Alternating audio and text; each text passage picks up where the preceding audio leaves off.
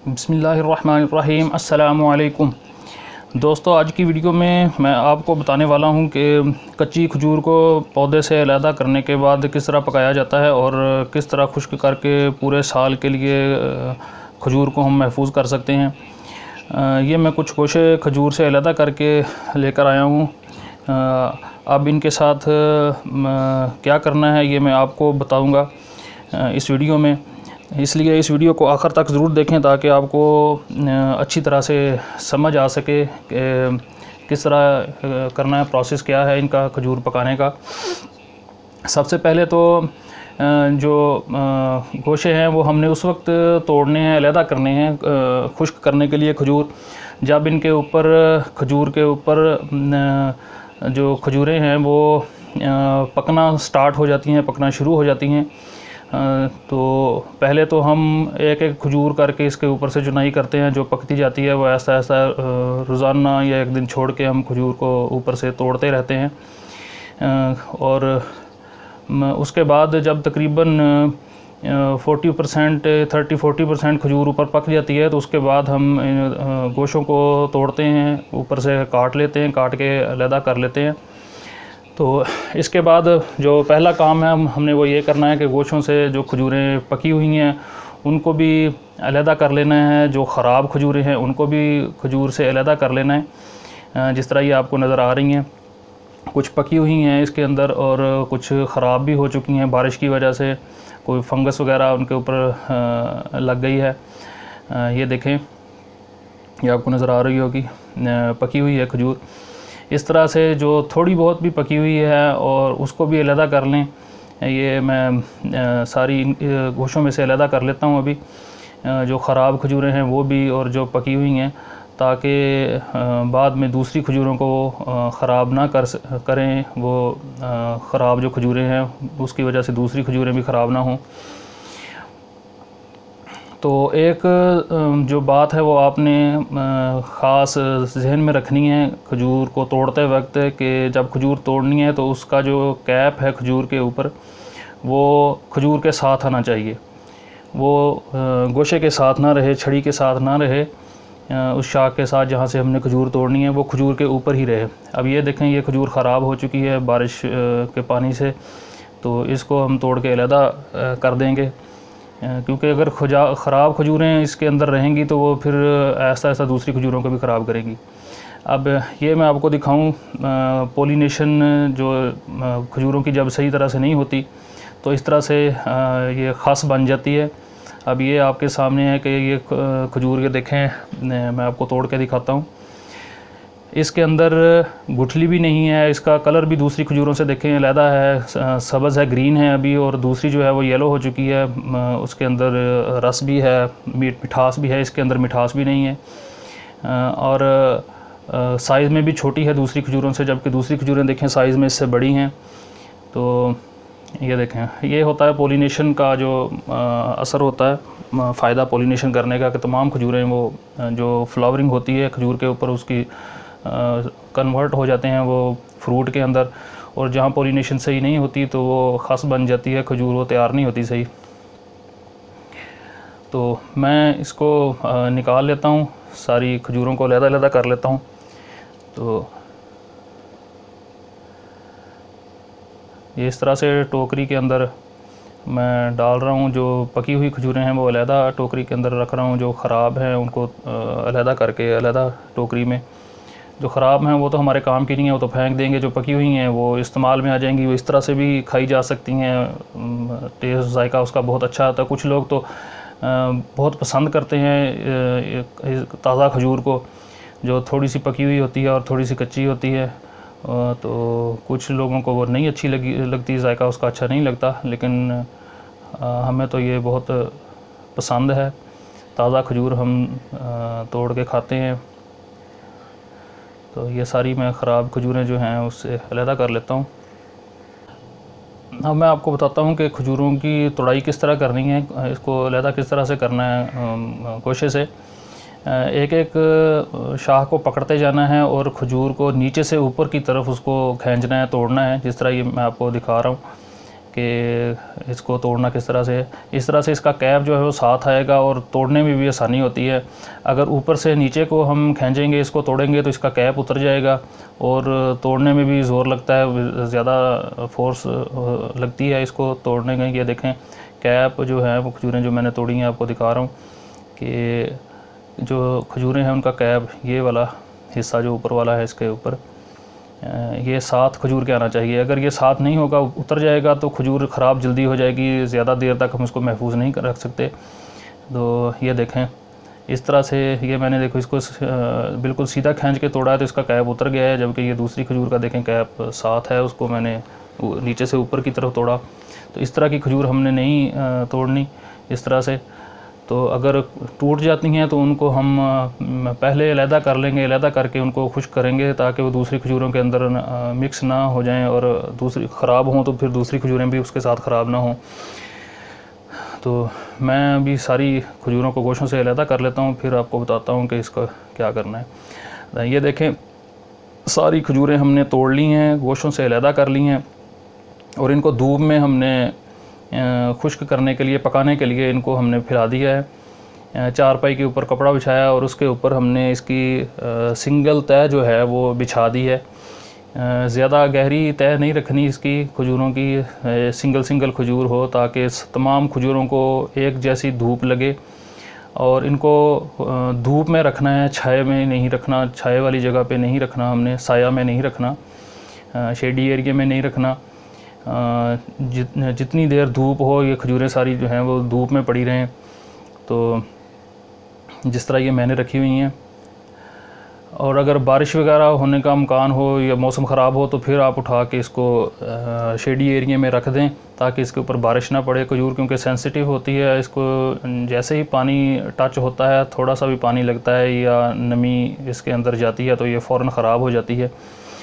तो इसलिए अब ये देखें, ये दूसरी वैरायटी है। इसको भी तोड़ के खजूर को हमने खुश्क करने के लिए, पकाने के लिए धूप के अंदर फैलाया हुआ है। तो खजूर सबसे पहले तो ये पकने लगती है। तकरीबन दो से तीन दिन के अंदर खजूर पक जाती है। उसके बाद फिर हमने दो, तीन दिन, चार दिन हमने धूप में फिर मज़ीद रखना होता है ताकि इसके अंदर जो एक्स्ट्रा मॉइस्चर है वो ख़त्म हो जाए। और ये खुश्क हो जाए ड्राई हो जाए ताकि इसको हम आइंदा के लिए इसको महफूज करके रख सकते हैं पूरे एक साल के लिए, एक साल तक तकरीबन हम इसको महफूज करके रख सकते हैं।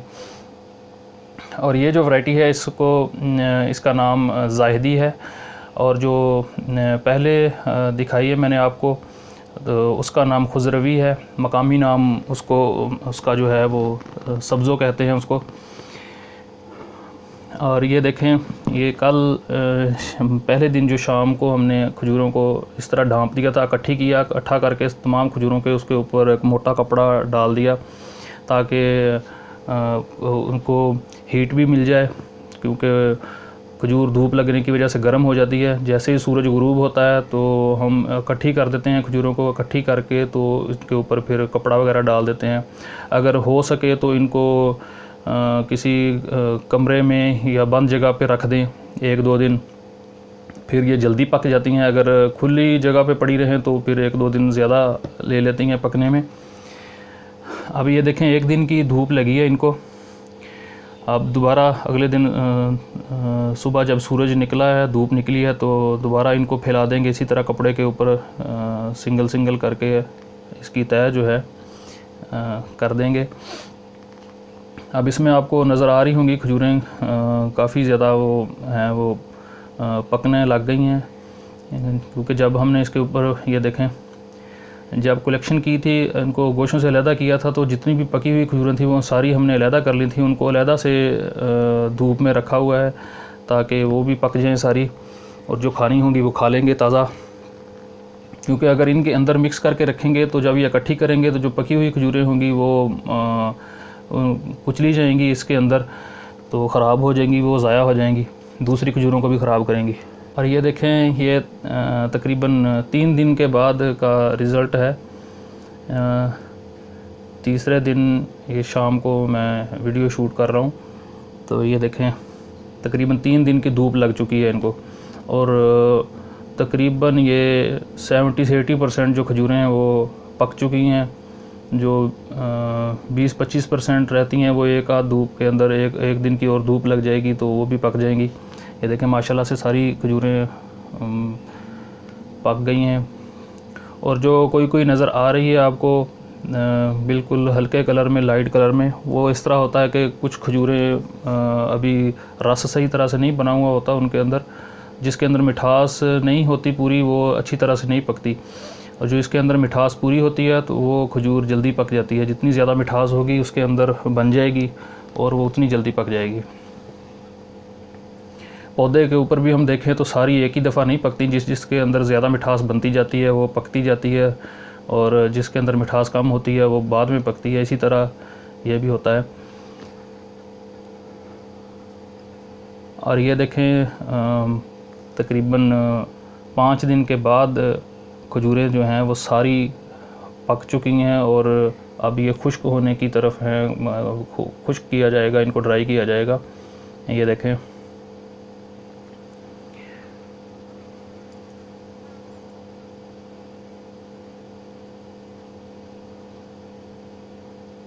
ये सारी खजूरें जो हैं वो पक गई हैं, अब खुश्क हो रही हैं ये। तकरीबन एक या दो दिन के अंदर ये बिल्कुल ड्राई हो जाएँगी, खुश्क हो जाएँगी और फिर ये हम इनको महफूज कर सकते हैं, इनको सेव कर सकते हैं।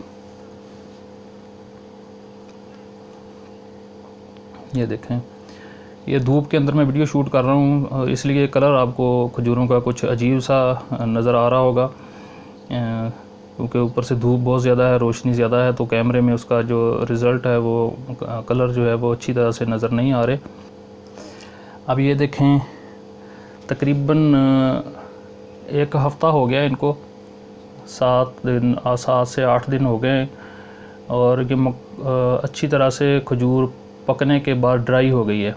और ये जो सबसे पहले मैंने आपको खजूर दिखाई थी, जो गोशों से अलहदा कर रहा था मैं तो ये वो वाली वैरायटी है जिसको खुजरवी कहते हैं।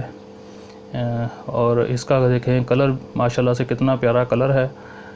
खुश्क होने के बाद और मुकम्मल तौर पे ये पक चुकी है, ड्राई भी हो चुकी है खजूर। ये देखें।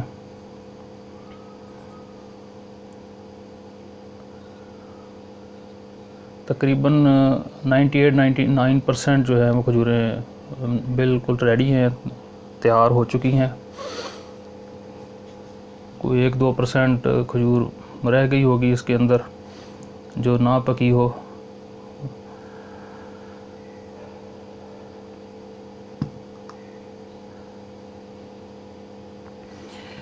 जी तो ये देखें, दोनों वैरायटी का जो रिज़ल्ट मैं आपके सामने दिखाऊँ आप लोगों को। एक जो है वैरायटी उसका कलर मुकम्मल पकने के बाद सेम इनको एक ही दिन धूप में रखा था, एक ही दिन तोड़ा था। और एक ही टाइम पे इनको इकट्ठा किया जाता था, एक ही टाइम पे रखा जाता था। और दोनों का कलर देख लें। एक जो है वो हल्के ब्राउन कलर में है और एक डार्क ब्राउन कलर है एक वैरायटी का, गहरे रंग में है। ये देखें, माशाल्लाह से सारी पकने के बाद ड्राई हो चुकी हैं, खुश्क हो चुकी हैं। एक्स्ट्रा मॉइस्चर जो है इनका वो हो चुका है ड्राई हो चुका है। और ये वाला जो वैरायटी है, ये जाहिदी है और ये वाली जो है, ये खुजरवी है। और ये देखें इसका कलर और दोनों के कलर में देख लें कितना फ़र्क है और साइज़ में भी फ़र्क है और इनके अंदर जो मिठास है, इसके जायके में भी फ़र्क है। मिठास जो है, वो जाहिदी है, उसके अंदर मिठास कम है इससे और इसके अंदर जो मिठास है, वो ज़्यादा है खुजरवी के अंदर। और खजूरें जितनी भी वैरायटीज़ हैं, खजूर की वो सब का जो है वो साइज़ खजूर का और ये देखेंगे, मैं खजूर आपको दिखा रहा हूँ खोल के। ये माशाल्लाह से सॉफ्ट भी है और इसके अंदर मॉइस्चर भी एक्स्ट्रा मॉइस्चर जो नहीं है, जिसकी वजह से वो खजूर ख़राब होने का डर होता है। जितनी भी वैरायटीज़ होती हैं, सब जो हैं वो साइज़ में, जायके में रंगत में एक दूसरे से अलहदा होती हैं। ये देखें ये सारी जो साइड पे भी जो पड़ी हुई हैं अभी सारी इसके साथ की हैं, खुजरवी जो है, वैरायटी उसके साथ की। और एक शामरान होती है वैरायटी, वो भी खुजरवी के मिलती जुलती होती है, उसका पकने के बाद तकरीबन सेम ही कलर हो जाता है साइज़ में थोड़ा सा फ़र्क होता है उसका। अब ये देखेंगे जाहिदी, और इसके अंदर भी देखें सॉफ्ट भी है और एक्स्ट्रा मॉइस्चर नहीं है इसके अंदर। ये जो हमें रमज़ान शरीफ में एक ईरानी खजूर रेडियो के ऊपर नज़र आती है, ये उसी से मिलती जुलती है वो उनसे अगर नाम पूछें तो नाम का तो उन्हें पता नहीं होता, बस वो ईरानी खजूर के नाम से वो सेल कर रहे होते हैं। मे भी कि वो भी उसका नाम जाहिदी ही हो, क्योंकि वो ईरान से इम्पोर्ट होके आती है पाकिस्तान में। और यहाँ पे वो फिर वो रेडियो के ऊपर सेल हो रही होती है। तो अगर वीडियो अच्छी लगी है तो इसको लाइक कर दें। अगर मेरे चैनल पे नए हैं तो चैनल को सब्सक्राइब कर दें। अगर कोई सवाल हो खजूर के बारे में तो उसको कमेंट कर दें तो इन मैं कोशिश करूँगा उसका जवाब दे सकूँ। अब मैं आप लोगों से इजाज़त चाहता हूँ इस दुआ के साथ कि अल्लाह ताला हम सबको कोरोना जैसी मुजी मर से महफूज रखे। आमीन। अल्लाह हाफिज़।